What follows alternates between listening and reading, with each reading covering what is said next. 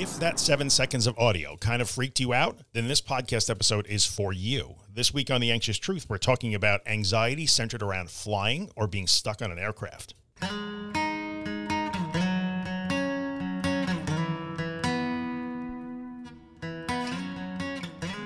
Hello, everybody. Welcome back to The Anxious Truth. This is podcast episode number 221, recorded in August of 2022. I am Drew Linsalata, creator and host of The Anxious Truth. This is the podcast that centers around all things anxiety, anxiety disorders, and recovery. If you are new to the podcast or the YouTube channel, just stumbled in today, welcome. I'm glad that you're here. I hope you find this material useful. If you are a returning listener or viewer, thank you. Welcome back. I appreciate your continued support and attention. Today, we're going to talk about anxiety centered around flying. Now, before we get into the meat and potatoes here, and before I do little, my little preamble, I just want to differentiate here.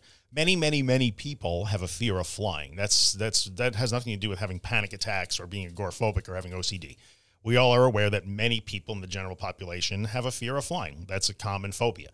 Uh, so that's a slightly different thing. We're not necessarily talking about that today. So if you if you don't have panic attacks, you don't have an anxiety disorder, you're just trying to figure out your fear of flying, uh, you may not necessarily find this podcast episode terribly helpful. You're welcome to, to hang around. It's going to be a relatively short one, but we're really talking about uh, fear of flying in the context of recovery from an anxiety disorder. So it's not, I have a fear of flying. This episode really is centered upon, I am afraid to get on a flight because of my anxiety. Two different things, right? Before we get into that, just a quick reminder you know what I'm going to say. The Anxious Truth is more than just this podcast episode. There are 200 and somewhat other completely free podcast episodes. There's a ton of free social media content. There is a newsletter slash podcast that comes out four mornings every week called The Anxious Morning. And there are currently three books on anxiety, anxiety disorders, and recovery that I have written that are being read and I hope are helpful to tens of, literally tens of thousand people around the world. Uh, you can find all of those resources on my website at theanxioustruth.com. So go check it out and avail yourself of what is there. If you are following my content and you like it and I'm helping you and you would like to help me keep it free of advertising and sponsorships, which is a goal of mine, all the ways that you can help do that, you can find at theanxioustruth.com slash support. That is never required, but always appreciated. And no matter what form your support comes in, be it monetary, merchandise, or just tuning in and giving a thumbs up on a video, I appreciate you guys. Thank you very much. So let's get into today's episode. Like I said, it's not going to be terribly long. We're not going to talk about the fear of flying. We're going to talk about being afraid to get on a plane because of your anxiety situation. Now, both of those things could be true. Uh, I know for me, I was in anxiety recovery, but also was a fearful flyer. Always have been sort of my whole life. So you can be dealing with both of those things, and we'll touch on that a little bit. But I just wanted to be clear that this isn't necessarily a podcast episode about specifically addressing the, the fear of flying, as most of us know that. So, what is the big difference? What's the big issue here? There's there's two issues. You could be afraid to get on a plane because you're afraid that the plane might crash, right? Like we got to be speak honestly about this stuff. We're not going to sugarcoat stuff. You might be afraid of that. I was that's I was afraid of that because I I was a fearful flyer. Still am to a certain extent. I don't really enjoy it that much. Uh, so you might be afraid of that. Some people say that they are they don't like it because they're not in control of the plane. There's a bunch of things that go into fear of flying. Uh, you don't know what's going to happen. There's a lot of unexpected stuff, and uh, we're going to talk about that in a little bit because I, I, had to deal with some of that. But I'm really talking about that situation where you are dealing with panic attacks or intrusive thoughts or raging health anxiety, or you're agoraphobic and are having a hard time just getting more than a few miles from your house. Uh, and now suddenly you find yourself in a situation where you might have to take a flight. You might have to sit on an aircraft for an hour or six hours or 12 hours if you're flying somewhere around the world. That happens all the time. People in our community get confronted with this, and that's why I get asked about it. So I think we need to look at what that really means. Most of the time, this all comes back to the idea that I will be in a situation where I may have sensations or I may experience thoughts that disturb me and make me anxious, or I may have catastrophic thoughts that something bad is going to happen to me, and I will not be able to handle them. And I will have to do something and take some sort of evasive action to get away from that experience, that internal experience of the sensations in my own body or the thoughts in my own mind or the catastrophic predictions in my own mind, I will somehow have to find a way to escape from that internal experience. And if in fact you are sitting on an aircraft, we're all aware of the fact that if you are 35,000 feet in the air and you are halfway between New York and San Francisco, there's nowhere to go you can't just decide to escape from that. That's there's no practical way for you to do that. Uh, so that's not news. Everybody who's ever been on a plane knows that. When you're waiting in the airport, because the airport is part of this too, it's not just the aircraft. For many, many people, it's the idea that you have to stand in a very crowded airport. Uh, there might be a lot of people, especially if you're traveling during traveling during one of the busy times of year, you know, around the holiday season. Thanksgiving in the U.S. is very busy travel time. So you have to go through. You have you may have to go far from home to get to an airport, and then go even further from home to go to your destination. You may have to wait on security lines where a lot of people are around you. Uh, then you're going to get you have to sit and wait at the gate in the terminal. Then you're going to have to get on that aircraft, which is this small little cramped space that you can't necessarily run around in.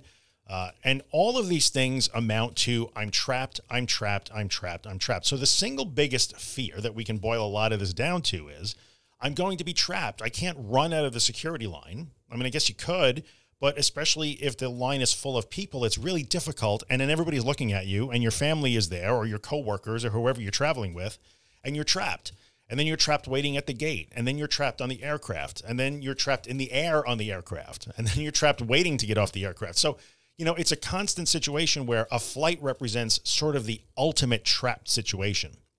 And a lot of people who are dealing with the problems that we're always addressing together have a hard time being trapped at a drive-through. They would never go through the drive-through at Starbucks or McDonald's for instance because they might get trapped. Only if I know I'm the only car. If I'm the only car, then I'll go through. But even then, maybe I won't because what if something goes wrong and the bank teller has to get their manager or the, you know, Starbucks runs out of whatever and they have to go into the storage room and get an ingredient and have to wait for five minutes.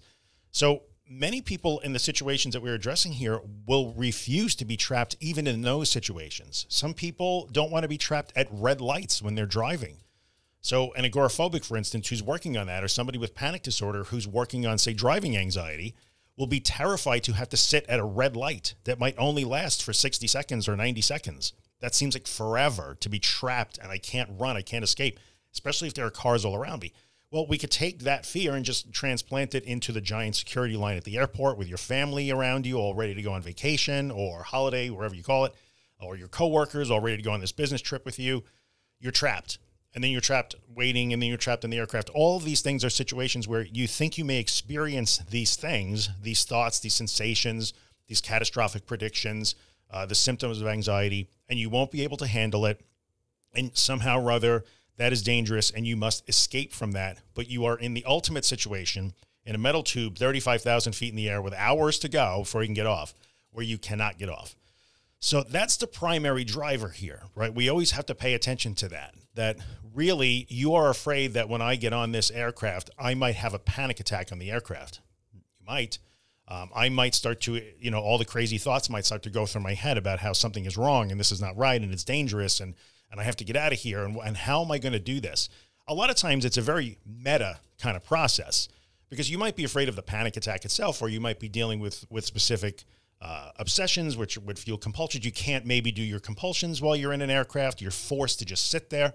So there's a lot of reasons why you wouldn't want to sit in that aircraft, right? I, I get that. All of them are there's an elevated level of fear, an uncertainty, and discomfort that you think you can't handle. So the meta part of that always comes back to how uh, the self-referencing thing of this will happen and the thing is a thing that I can't handle as opposed to well there might be a fire on the plane and that seems pretty dangerous. Sure. This is, I'm, I have to be able to escape from myself because I can't handle myself. I can't handle that state of distress. I cannot handle being afraid. I can't handle this. I have to get up and run. Somebody has to save me. I have to do special things. And you can't. Like, so all of your safety and escape behaviors are taken away from you. Your ability to perform physical compulsions, especially if that's your, your problem, gets taken away from you in that context. Um, there's the, the fear of embarrassment that comes along with that also. If I panic on the plane, what if I, this is a very common thing too, what if I panic on the plane and I lose control? So, you know, in that situation where you're stuck on the aircraft for several hours on the flight, a lot of people will play that scenario in their head. Well, since I'm stuck and I can't handle it, it will build to a fever pitch. I will not be able to handle it and I will somehow lose control because it will be so much and I can't run away from it that I will somehow lose control. I will have some sort of uh, break with sanity. I will lose touch with reality. I'll have a psychotic break. I'll start screaming. I'll start crying. I'll want to throw myself on the ground.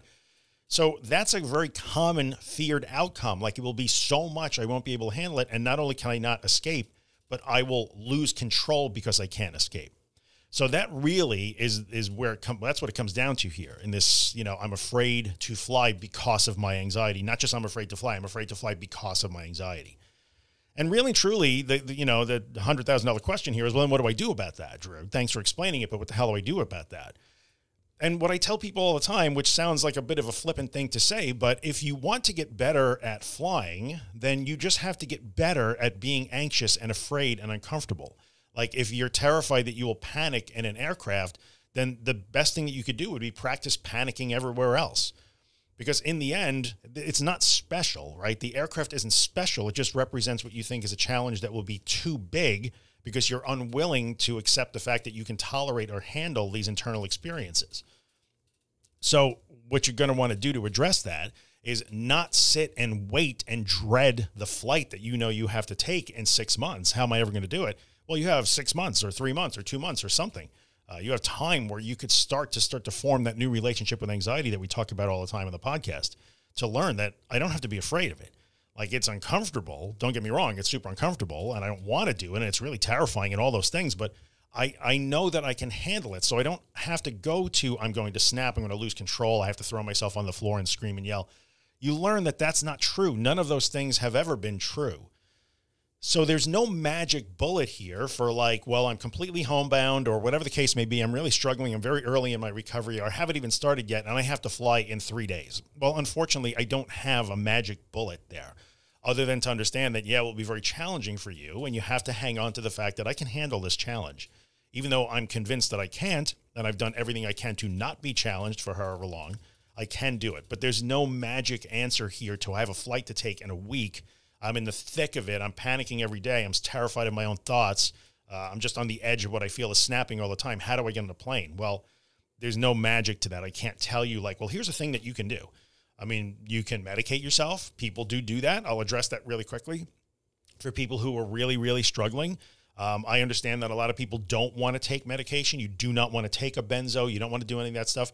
If the difference is I have no choice, I have to get on this three hour flight you know, I, I, can't not do it for whatever reason, but I'm still stuck in a two mile radius from my house or my anxiety is at such a point where my life is still full of restrictions. It's perfectly okay in that instance, like people who get sedated to go to the dentist, for instance, maybe you have to use the medication. It's out there. It's not all evil all the time. So if you're between a rock and a hard place, it is not failure to say, well, okay, I'm going to have to take a Xanax or whatever it is. You're going to have to work with your doctor on that. Of course, I cannot prescribe you know medication to you nor tell you to take it. But i can tell you that it is an option. If you find that you are backed up against the wall you have no choice in this situation. You, there's not a crime that's not a failure in doing that. It's a one-time use with a purpose. That's very different than like well i'm going to start taking it every day when i feel like i need it and then more and more and more. It's not it at all if you need to take a xanax to get on a plane so you can fly to your cousin's wedding and then another one to get home no one's going to judge you for that i certainly wouldn't it's perfectly fine to do that but just keep in mind that you are operating under the assumption that this would be a horrific, unhandleable experience that you have to be able to escape from and avoid. And I can't on a plane. And that's wrong. So, really, there's not a whole lot of difference between anxiety on a flight versus anxiety being home alone or anxiety on the highway or anxiety at school or in the shopping center or anything. They're all the same. It's all the same thing. You know, one of my popular podcast episodes was called All Your Fears Are One Fear just that uh, a flight or being on an aircraft on an extended flight seems super special because it's the ultimate place where you are trapped. Like the rubber will hit the road there. You will have to navigate. And I understand that. So I can I can acknowledge that for sure. If you do go through the drive-through at McDonald's and there's three cars in front of you and it's super slow, I mean, I guess if if it really if you really wind up on fire, you could drive over the curb and leave if you go to the movies and you find a halfway through the movie that you just can't tolerate it anymore and you want to run, you can run. But you do not have an out in a plane. You are trapped. So we can acknowledge that for sure, but it doesn't mean that trapped still means a disaster, even though you insist that it does. So that's really the crux of flying anxiety. And if you have the opportunity, don't sit and wait and wring your hands over how you're going to handle it. Start practicing being anxious. So all the usual rules apply here. So let me eh, relay some of my own experience.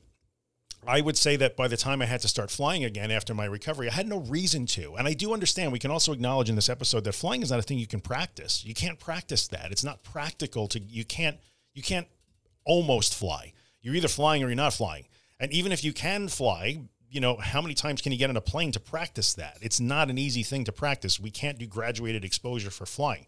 But but uh, I had been years into my recovery and I would have told you I was fully recovered. And then when I had to start flying again because my life just required it, I was super nervous. I was really afraid because even for me, and I would have told you at that point I was completely 100% fully recovered, but even I had doubts about that. Um, I'm flying by myself. I'm going to be in an airport a thousand miles from home for the first time in years and years and years. Uh, I'm going to be trapped on an aircraft. How do I know that I really am recovered? How do I know that I can really handle it? So I had doubts too but I had done so much recovery work, so much practice, so much. I had such a, a new relationship with anxiety and fear and panic and all those things that I had some anxious thoughts when I was waiting to board that first flight. I had some anxious when that the door closed on that aircraft. Uh, my anxiety level was rising. It was absolutely rising. But all the practice that I had on in the car, on the highway, out in public, at family events, at, at social functions, all of those things helped me there. Oh, that's right. I just do this when this happens, and and I and I float through it using the Claire Weekes. I surrendered to this, and that's exactly what I had to do on the way to the, the airport, in the airport, and then especially when the doors closed on that aircraft. Uh, and I was nervous, hundred percent nervous. But I just had to remember, oh, I, I on a plane, I do the same things that I've practiced doing thousands of times in other contexts, and that's why I used I, I use phrases like being able to forklift your recovery experiences from one context to another. You know, the first time I went to the movies, you know, and when I was far enough along in my recovery, I had to use that. Like I get really anxious in the movie and it was, I had to float, you know, surrender through that, allow it, accept it, float. And I made it through the movie. I was fine. I didn't make it. I did it. I did it. And I had to use that when I got on the plane. So that was my experience with that. But even I was nervous. It's okay to doubt, like, oh, am I really? Can I really do this? Totally okay. And and you don't know. You don't know that you won't panic. I might have panicked on that plane. You don't know. You just have to keep practicing so that you know, even when I do panic, I can handle that, even on an aircraft. Because remember, this is all of not, we're not learning how to fly without panic or drive without panic or stay home without panic. We're not learning to not be anxious or afraid. We're learning to be better at those things so that we're not afraid of being afraid. Like I've probably, I must have said that a hundred thousand times over the last eight years. So keep all this in mind. It's okay to use some meds if you have to to get on a flight. It's not failure and it's not failure and it's not disaster for you to be nervous about that flight, apprehensive about it, doubting yourself, not feeling completely confident. It's also completely normal and expected. That's okay if you feel those things before you take your flight. It's totally okay that you feel that. I promise. You just have to use the same, just repeat those experiences that you've been practicing, repeat them on the plane. But now let's talk about the fact that there's flying fear. I had that. I still do to a certain extent. I will fly now. I just, I don't love it. I don't look forward to it. I still don't like it, but I will tell you that I am by no means calling myself a, a, an expert when it comes to, you know, uh, fear of flying. I do not pretend to be an expert on, on dealing the, with the fear of flying, but I can tell you what I did before it was time to start flying again, I was feeling apprehensive and I said, okay, well, I also have this thing where I'm a nervous flyer. So maybe what can I do with that? And I am not joking. I literally spent hours and hours on YouTube because YouTube is amazing. Look, YouTube is crazy. Like it's this is everything you ever want is on YouTube. Who knew? But I would watch people who there are people who are enthusiasts. They're aviation enthusiasts and they video every takeoff out the window. They take they video every landing. They video the air, the uh, operation of the flaps on the on the aircraft. They they like the sound of the engines. They love the the air traffic controllers if they can listen to that. They love the pilot announcements. They're just enthusiasts. They love it, and they like to document that. And those people were tremendously helpful to me because I was able to sit and watch. Ooh, sorry about that notification. I was able to sit and watch videos of what does take what do all those sounds mean at takeoff? Like oh this is supposed to happen. I watched there are some great pilots on youtube that make really uh, educational and informative videos that are targeted at people that are nervous flyers. And i availed myself of those resources. Oh this is why the engine sounds like it's just turned off like 30 seconds after takeoff. That was a thing for me. We would take off and it's like oh okay we're supposed to bank hard one way or the other that's what we're supposed to do wow, that took a lot of the nervousness out of that. Still don't like it, don't love it, but it wasn't a surprise. So I was able to watch and say, oh, the plane is supposed to bank one way or the other when it takes off right away. Oh, they do throttle the engines back almost right away. Oh, at 10,000 feet, we throttle the engines back. I don't know where it is where you live, but in the US, that seems to be a thing. I'm not a pilot. But when I found that out, I was like, oh, because when we were climbing, climbing, climbing, and suddenly the engines went from this roar in your ears to much quieter, I used to be like, oh, oh my God. And you would feel that because you'd have that deceleration when they throttle back on the jets, right? But now I knew what that was. Oh, we're 10,000 feet. And then sure enough, you'd hear the little bing in the cabin like that's at 10,000 feet. So I knew it was coming. And in that situation, and more of a simple phobia, if you're flying, knowing does help, right? So avail yourself of those resources too having had done that and understanding, um, I watched takeoff videos from the flight uh, from the flight deck. I watched landing videos, all of those things, because to me it just helped me to understand. Oh, okay. Well, we we they throttle up the engines. They get to a particular speed. Uh, you know, the, the rotate. Anybody who's an aircraft or an aviation person would understand the word rotate. I didn't know rotate. Like, oh, that's the speed at which the plane will actually leave the ground. Rotate, pull it back on the thing. The plane's going to pitch up. That's what's going to happen. I I went through all of that. That helped me so much. Before that, I used to just watch like the flight attendants and the flight crew. And if they were cool, then I tried to be cool, but I wasn't really cool. Like I used to think like, well, if they're not nervous, then I guess I don't have to be nervous, but I was still nervous. Whereas when I learned much more about what a flight sounds like, what the procedures are, what those engine noises mean, why this happens, why the, what landing is like, so much better to the point where there are parts of the flight now that I actually enjoy. Like I love landing. I, I like watching the little flight display now on the on the screen on the back of the thing because I, I I know what it is now and I just nerd out on it. It's kind of cool. So I understand turbulence a lot better. So if you are also a nervous flyer, that's those things helped me a lot. It took away a lot of the unknown and the feeling like I don't know what's coming. I, I don't know what to expect. And I'm nervous about every sound and every bump and every this and every that it took so much of that away. And if I coupled that with the fact that I was nervous and apprehensive about, I guess I would probably say I felt like I was testing my recovery. Am I really recovered? Am I really fully recovered? Doing all that sort of fear of flying stuff that I did, watching those videos and learning so much helped a lot because I knew what I was going into ahead of time. Now, before I wrap this up, I just want to make sure that we understand the difference between what I did not do was I did not frantically seek for reassure, seek 100% assurance that an aircraft is always safe. Uh, it's statistically, it's the safest way to travel. I'm not going to go through all that stuff. But all I was doing was learning what was going to happen, right? Not because I thought I could control it or change it. I'm fully aware that I have zero control in that situation. Absolutely none. I, I, I'm aware of that. I was not trying to find a way to feel like I was in control. I wasn't trying to find a way to assure myself that that planes never have problems. Uh, you know, some of that stuff does come up in those videos, and and the pilots are so good at explaining like the 60 levels of redundancy, and we have we we train on all these things. That was nice to hear, but it's important to remember that as I was addressing that nervous flying thing, because I was confronted now with sort of really truly testing was I fully recovered, I was not frantically searching for assurance that I would be okay on an aircraft. That is counterproductive.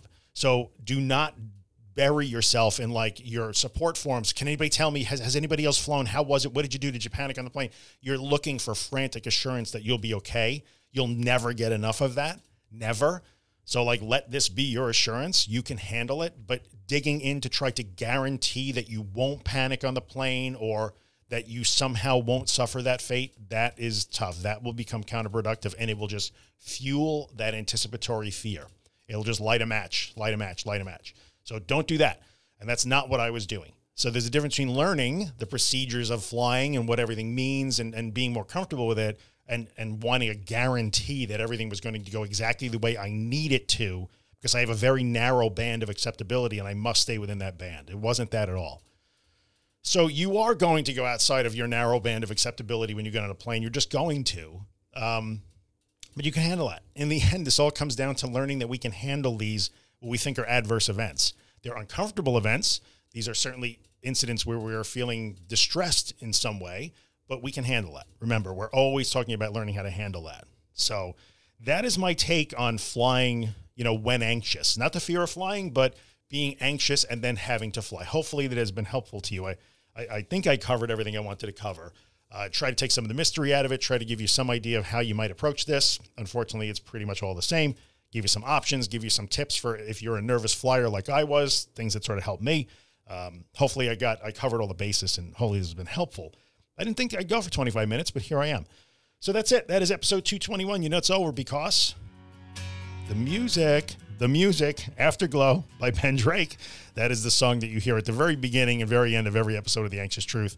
Because Ben wrote the song partly inspired by this podcast, which makes me so proud, I guess. And I'm, I'm amazed by that. And he and I became friends and he lets me use the song and I dig it. So if you want to find more about Ben and his music, you can find him at bendrakemusic.com. If you are watching this podcast on YouTube, then subscribe to my channel or like the video, leave a comment, thumbs up, all of those things that YouTubers are supposed to say. I guess I'm a YouTuber now.